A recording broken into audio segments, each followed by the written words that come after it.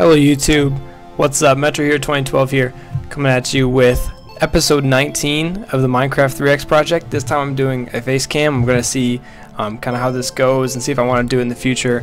But I figured I could still do a face cam while doing a, a voiceover of the video. So um, we're going to give that a try today. But today we have an exciting episode because we do a little bit of everything. Um, and we'll be starting out just mining up a few more resources. Um, looking for diamonds, looking for iron, uh, maybe some coal, and know it sounds stupid, but I kind of appreciate getting coal more than diamonds, mainly because, oh, they're, speaking of diamonds, there they are. Um, but the coal is super helpful to me because I can make glass, and more importantly, I can make um, stone out of cobblestone, which I can then turn into the kind of stone that I use um, on my castle. So as I'm trying to build the castle, diamonds aren't as useful to me as something like coal. Because diamonds look nice, but they don't make stone and they don't make torches, which I'm also running low on torches. So um, there's kind of trade-offs there. It's kind of weird. i will happily take diamonds if I can find them, but oddly enough, this episode I find more diamonds than I do coal. So I guess I figured out the correct level to be looking for uh, when looking for diamonds because there's some more right there. Like, I, I just found a really good vein, I guess, of where diamonds and iron are, but uh, my luck kind of runs out there. I don't find any coal, which is what I'm really, really after. so moving forward, I just keep hammering in on this this mine shaft. Um, again, looking for coal, but it's just it's just not my day when it comes to that. So just gonna keep working, keep working, keep working, and I'm placing torches um, roughly every 10 squares. Um, that's just my OCD thing kicking in. Um, it seems to be lighting it equally throughout, but if I do have mob spawn, I'll have to put some more torches in there. But torches are kind of a kind of a limited resource uh, in my world. And then, if you guys remember from last episode, I had a few mobs spawn in that general mining area, so I'm going to look for a solution for that later on in this episode as well. So here we go, putting the limited coal that I found to use, just separating it out into four different furnaces, um, rather than just putting all 64 coal in one furnace and all 64 cobblestone in one serve, uh, furnace. I like to mix it up.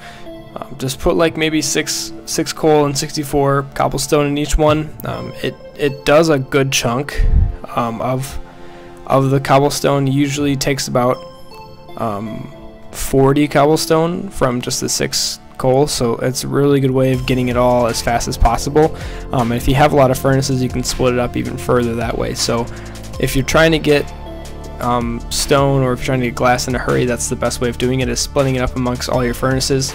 Um, so you just simply right click uh, when taking your coal from your inventory to take half the stack and put it on there and then you can right click again um, take half the stack off if you only want to put a quarter and so on and so on. So um, different little tricks uh, you can use along the way um, to better what's going on in your Minecraft world. And I was starting to run out of space in my chest, so I, I kind of decided I have to build, I had to build another one, and there wasn't any room for upstairs. Um, I'm going to be putting some more in the castle once it's completed, but as of right now, the castle is not completed. Sorry, I just moved my webcam software. and like I said, a little bit everything. We started out in the mine shaft. Now we're going to get some sheep wool, and I think it's a good idea for me to start getting looking at getting this because um, once the castle is starting to move along, I'm going to want some colored colored blocks places, whether it's white, black, or I believe I only have cyan right now. But um, if I can find some ingredients to make other dyes, I'm going to be doing so. But I'd like to be making some different like carpets and hallways and like rooms and stuff like that, and maybe like um, the top of the the watchtower. Um, again, let me let me know what you guys think I should do um, for kind of a top of watchtower. I I saved some images that I will display on the screen now of just some some quick little ideas of like some kind of things that I can do. So if you guys want in the comments, just let me know which one you like. I'll put some numbers up there too so that you can vote on which idea you think is really good. So if you do see an idea you really like, please leave in the comments. That's a good idea and you want to see it, uh, especially if you want to see my thought process going about how to do it.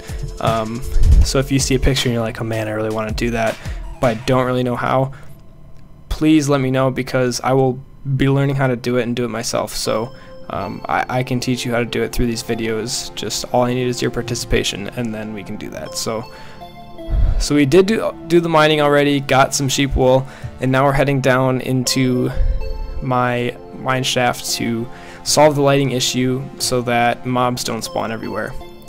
So my idea was to put some just wooden pillars that match the floor um, I was kind of debating on how many to put in, but I ended up deciding on putting two in and just moving them a little closer to each other.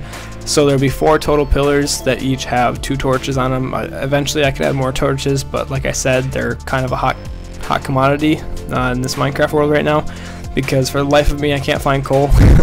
um, once I do find more coal again, then I'll be able to make more stone, have more glass, and more importantly, have more torches. So um, for right now, we're just gonna have to do with what we have, and I messed up so bad doing this. And usually, I have some dirt that I can just throw down so I can like go towards the ceiling, but I didn't, so I had to actually put the wood down. And it took me a while to actually get this right. Sadly, mean, it wasn't that hard of a task for me to do, but it took me a lot longer than it should have. So we're gonna go ahead, go ahead, get these pillars in, throw some torches on them. I did put them at the same level the other torches were at, which I think is really kind of cool. Um, because I could have just put them at ground level, but then again, there's those, those little detailed things that I like to do that uh, make me a little more happy. And I was very surprised to come up and see that it was nighttime already because I thought it was very recent that I went to bed, but I guess I don't make the time cycle in this game, so I couldn't tell you. It, it could be that I went to bed really late at night, the last night, so then it just shot me into the morning pretty far. Um, so right now I'm heading out and I have enough blocks to keep working on this castle wall. So I haven't decided yet which side is going to be the front, if I want the front to be facing the cabin, or if I, like, by the time I get all the walls done, uh, I, I, see one front facing part that's just going to work a little bit better. So um, I think I'm going to wait until I have all the walls and watchtowers done, and then I'm going to decide which side is going to be the front because once it's all completed it's going to be a lot easier to tell what has the the prettier front or like see where the sun sets so I can have it set on the backside to take some of my screenshots or something. I don't know like there's going to be a lot of things to consider so if anybody knows a good idea of like what side to put the gate on um, let me know I really I really have no idea or if you want to do something like see a moat around the castle or really, honestly, any suggestions I'm open to. Um, not saying I'll definitely go ahead and do that, especially if it's something very difficult, but um, I am more than willing to listen to suggestions and possibly implement them into the video. So I just keep going up higher and higher on this wall. Um, the the three blocks over and two blocks high is the best strategy I found to do it fast.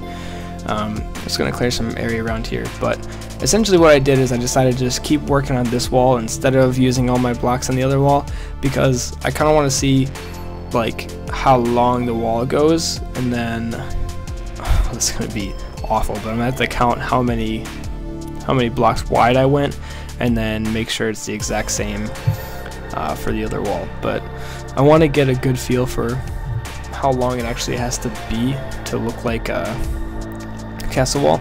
So I'm taking a, a, longer look at it and it looks like it's about, honestly, about halfway done. So, like, it's going to be a really long castle wall, I can tell you that much. And I went back to my uh, beef pen to hopefully get some more food and realize that last time I slaughtered them all. So, if you want to see that episode um, of what a slaughterhouse looks like, I went in and killed a whole bunch of cows. But uh, I'm trying to get them back up to normal, but definitely heading back into the sheep pens just to collect that wool one more time. Like I said, I'm going to be needing it later, so I figured I'd go for one more round of wool and then also create more blue sheep babies because there aren't that many blue sheep in my pen right now, um, but I do have a lot of black and white, uh, so gonna work on getting that. And then I saw these two pigs here and I thought I could probably get them in a pen, but then I realized that you don't lure them with wheat because it's been a long time since I played Minecraft and I, for whatever reason, didn't think about that.